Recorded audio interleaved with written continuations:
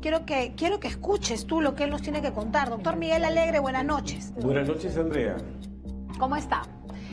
Acá hay un tema clarísimo, el tema de los devengados, lo que ha dicho, lo que, lo que ha dicho Ismael, ¿no?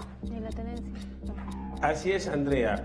Eh, en principio, los devengados es aquello que no se ha pagado. La deuda. Exacto. Ahora tenemos que tener en cuenta que existe un deber de lealtad, probidad y buena fe en los procesos judiciales.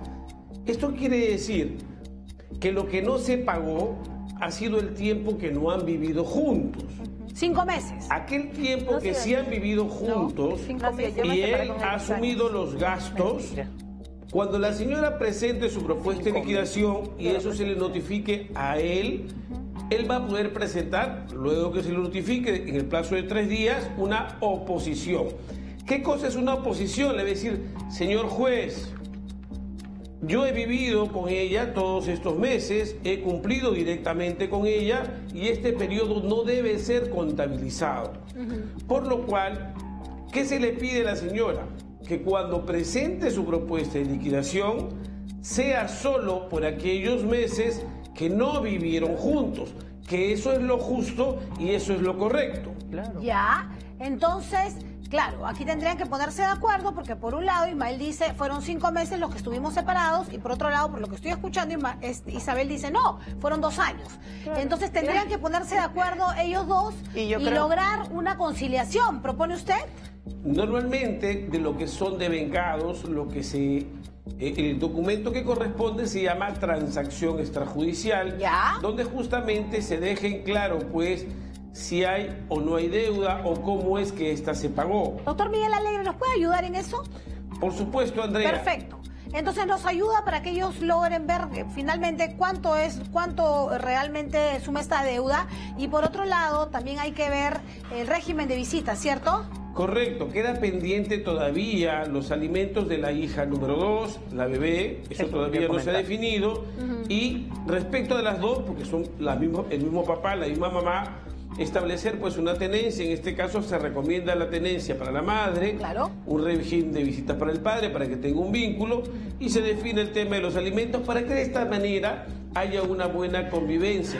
Lo que se busque es lo mejor para ambos niños. De acuerdo, entonces yo quiero invitarlos a Ismael y a Isabela que se reúnan con usted y puedan llegar a un acuerdo. Finalmente, a ver, estamos, esas son las historias de la vida real. Lo que tenemos que hacer es ponernos de acuerdo por dos niños.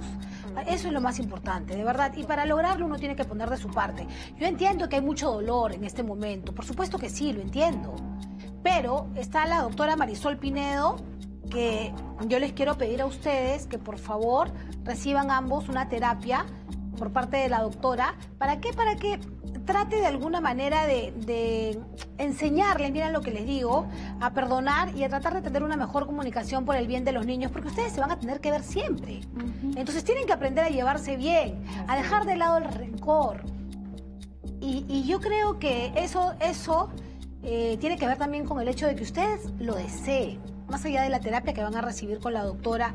Y yo creo que lo más importante va a ser que esta terapia va a ayudarlos a ustedes no solo a comunicarse, sino a tener una, una mejor relación por el bien de sus dos hijos, porque hay algo en lo que sí están de acuerdo los dos, que están aquí por sus hijos, si no, no estarían acá, por sus hijos. Yo justamente he venido a tu programa porque he considerado que es un programa legal, ¿no? Este, que, que te apoya, ¿no?